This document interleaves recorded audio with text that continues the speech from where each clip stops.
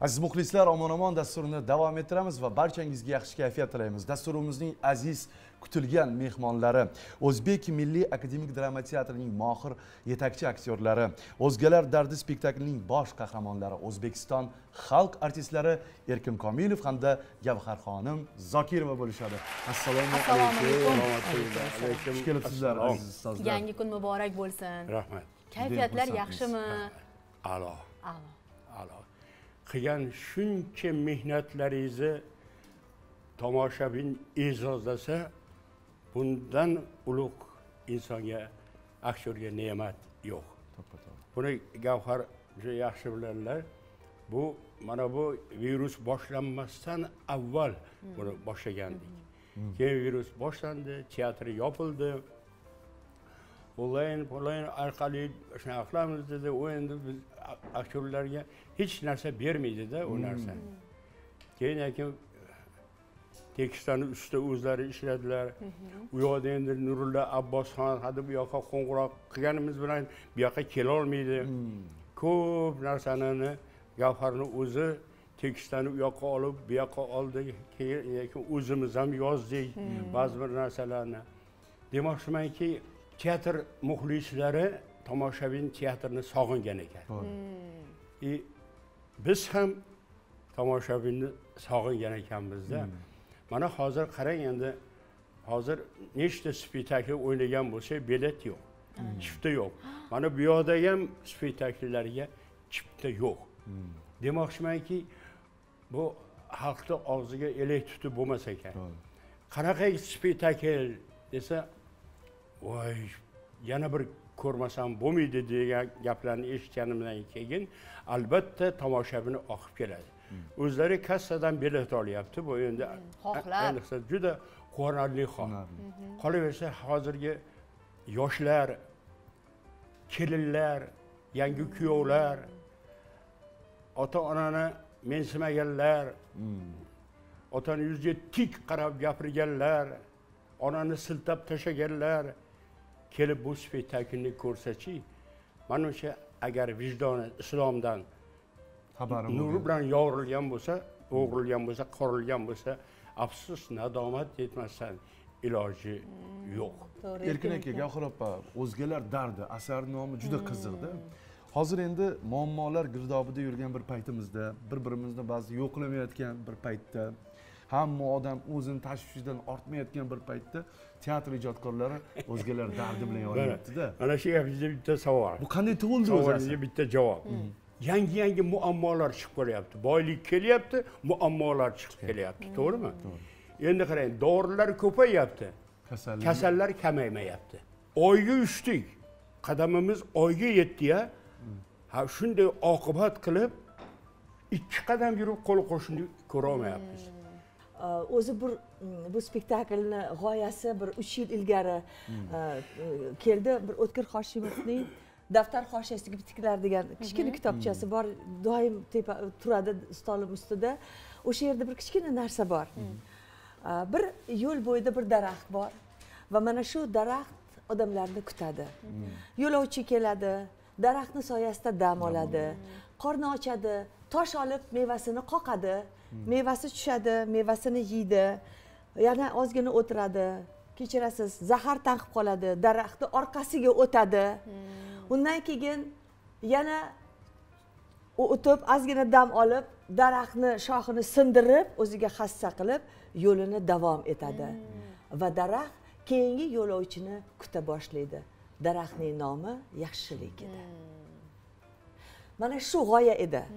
Nurulla abbosxonga qo'ng'iroq qilib nurulla abbosxon endi o'zbekcha raqs yozgan. Juda o'n yildan ortiq sahnamizda ketadigan spektakl.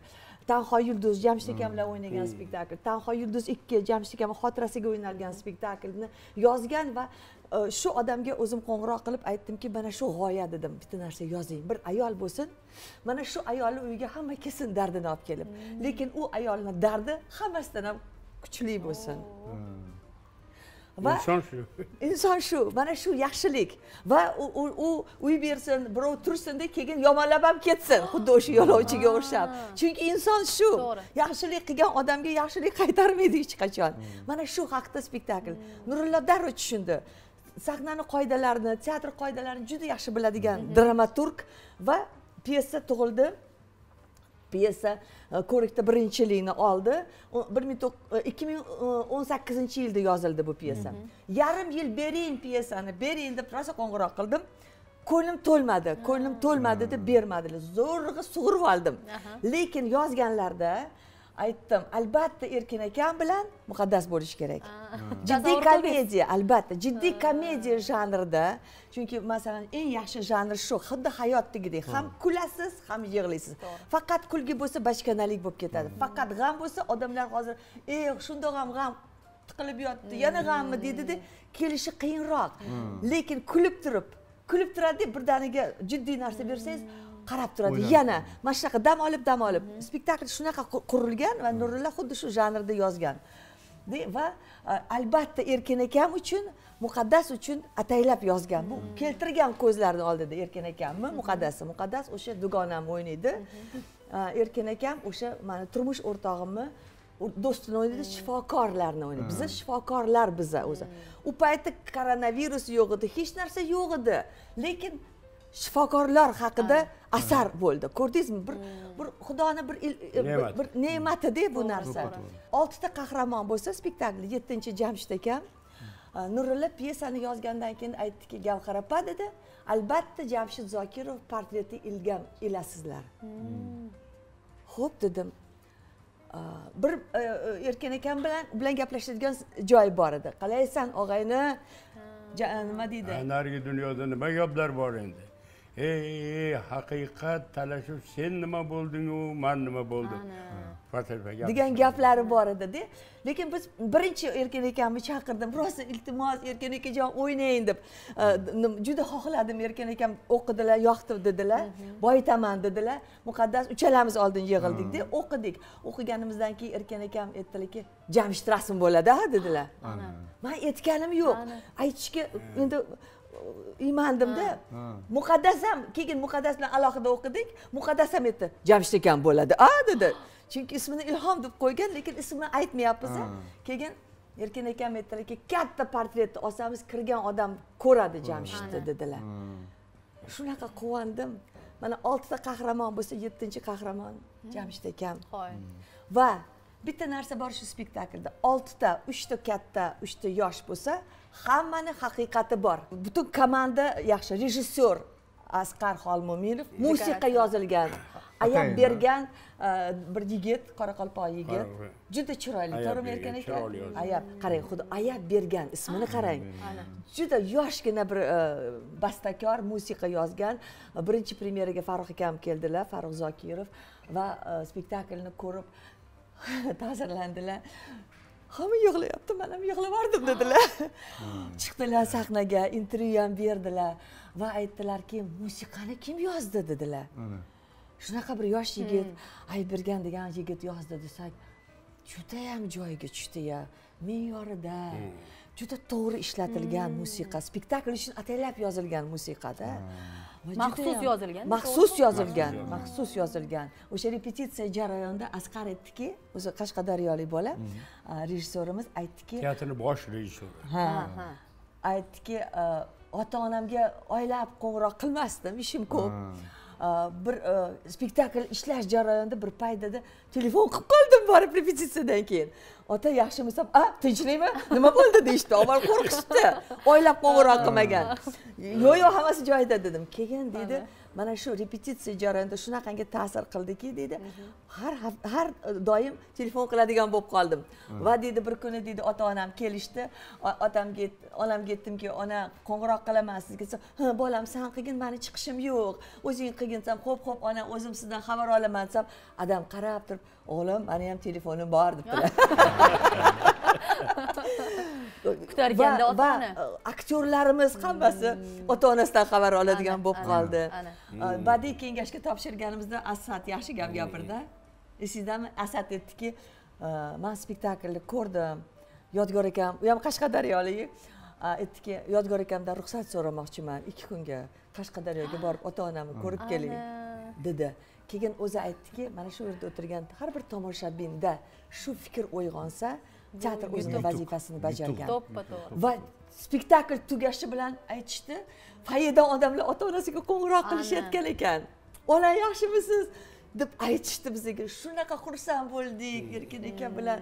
Mana eng asosiy maqsadimiz shu. Anvarjon agar fikran o'ylab qarasangiz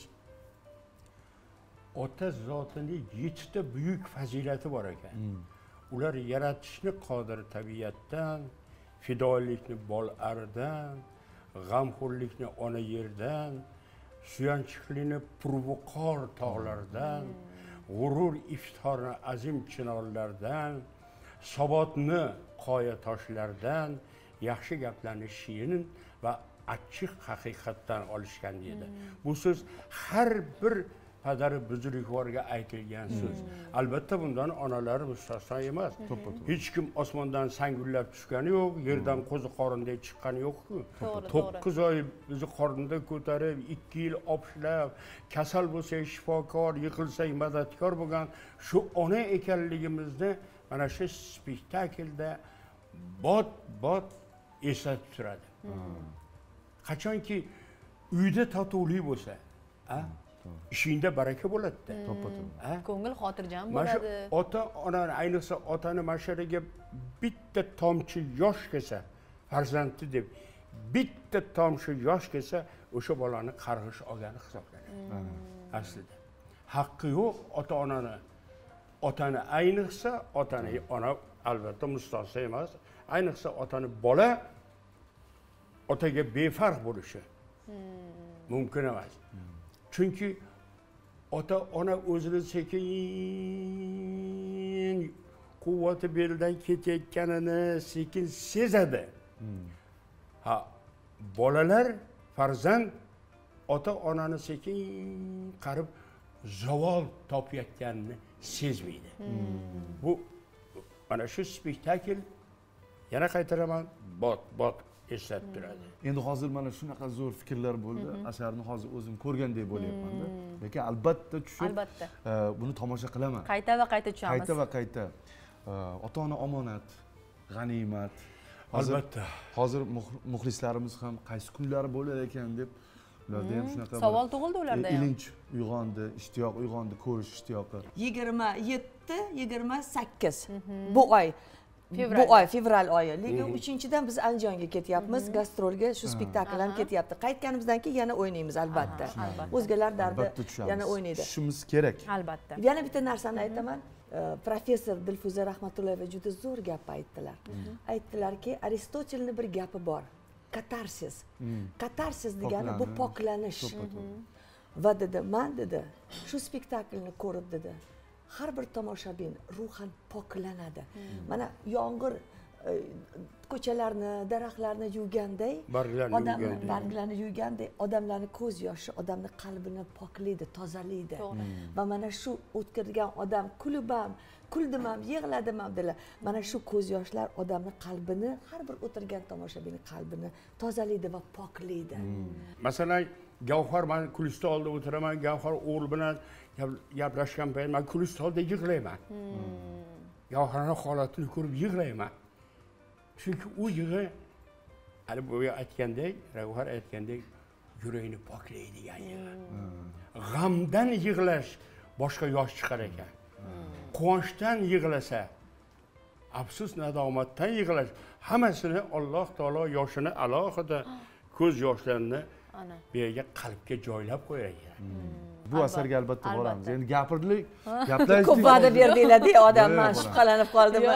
Juda ko'p yana bitta birinchi birinchi qatorga o'tirib qilaman birinchilar qator gullar bilan tushamiz yana qayta pulini so'ranglar birinchi qator ellik ming turadi aylansin deydi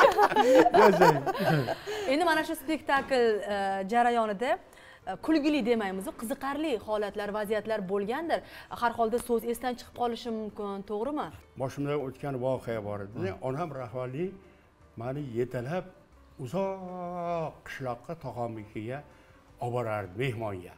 U paytda moshina qayerda Piyoda. piyoda hamma yoq tuproq borardida tog'am xudo rahmati bir ajoyib odam edi. Ey erkinjon aynan ey jiyanim kelyapti deb bag'riga bosib o'p u yuzimdan bu yuzimdan o'pib kampir dasturxon yoz der edi. Dasturxon yozar edida ozgina jiyda mayiz turshak sepib qo'yib qarang dasturxonga qaranglar.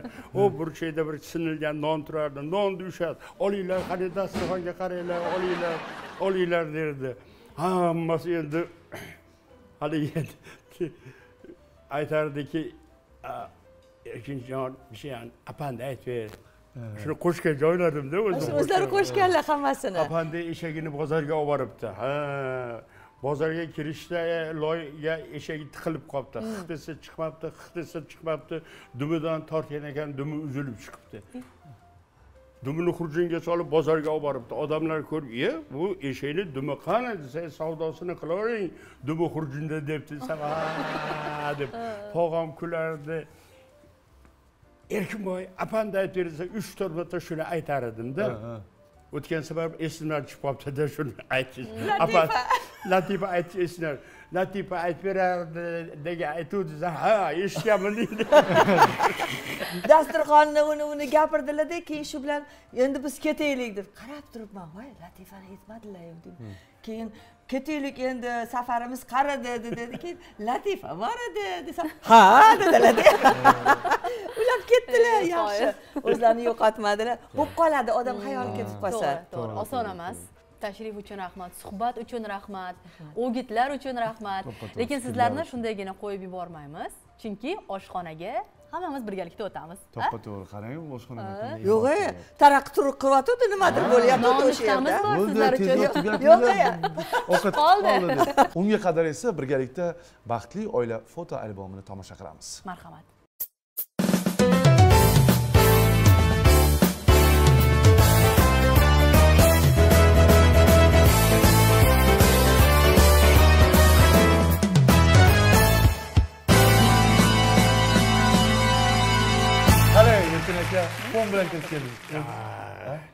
dedingiz bitta olmay bepul bepul bo'lsa ham hamma narsa bor ekan qutlug' uydan quruq qaytmanglar Ha, deganlardek. deganlaridek shu sabohatxon opamiz boya taqir tuqir yotuvdi ha gaplashayotganimizda degan ekanda to'xtatinglar tayyor sovib qolmasin debdilar gavhar opa marhamat bir qarasangiz tovuqqa o'xshaydi tovuq nima deydilar qovurganga o'xshaydi siz go'sht xohlaganingizga bu safar ham go'sht deb his qiling dedimda bu shirinlikmi yo endi tatib ko'rib bilamiz shirinlik shirinlik ustida bodommi haligi nima qilingani maydalangan maydalangani ko'zga ravshan qilar ekan o'zbekchasiga qo'l bilan olaveramiz a bemalol bemalol. bismillohi kamil rohmanir boshlang Qani. yaxshi mehmon osh ustiga rohmanir rohim olinglar ofarin rahmonir rahim rahmat sabohat opa doimgidek bizni lol qoldiryapsiz. Ichida nima ekan haligi deydiyu uzumini yeng bog'ini so'ramang deb. Bo'ldi o'zi shirinlikka toblari qalay ustoz? Man o'zim pishirmayman kamroq yeyman o'zim qarang mana ustozga o'xshagim keladida ko'ryapsizmi lekin gap gap so'zlaringizdan ancha o'xshaysiz. Osh bo'lsin osh bo'lsin dildan gapirishlarim erkin akamga o'xshab ketadi birov maqtamasa o'zim o'zim maqtayman degan. Shunday paytda eplagan o'zini maqtayapti deng. Yoqdimi? Qumir qum. Qumir, sabohat qumir. ham qilib berasizmi shuni? Ha albatta albatta oila a'zolarimga birinchi navbatda. Hamisha sog' bo'linglar endi osh qilolmadiku oshni xudo xohlasa bir choyxonada ha, balo qilib yo'q endi ko'p narsa yo'q nima qilamiz anvar bilasizmi hozir bizga ko'pchilik yurtdoshlarimizni aynan o'sha biz tengi yoshlarni do'stlarimizni aka ukalarimizni opa singillarimizni havaslari kelyapti ularga aytar so'zim bor. Har kuni erta tongda ota onangiz bilan mana shunday bir baxtli kunlarni e, g'animat bilib ular bilan nonushta qiling shirin shirin yaxshi yaxshi xotiralarni eslashing ularni duolarini olib har qanday ishga otlansangiz yoki qo'l ursangiz albatta ijobat bo'ladi. To'ppa to'g'ri. Sizlarga katta rahmat ustoz. Sog' bo'linglar. hamisha sog' bo'ling. Ha, ko'p ko'p kelib turinglar. Rahmat Endi tugatyapmizmi bittadan yesak Yo'q, bo'ladimi bittasini urib bo'lsin. berasizlar saboy saboy. Dastor. tesha mo'minovga olib ketaman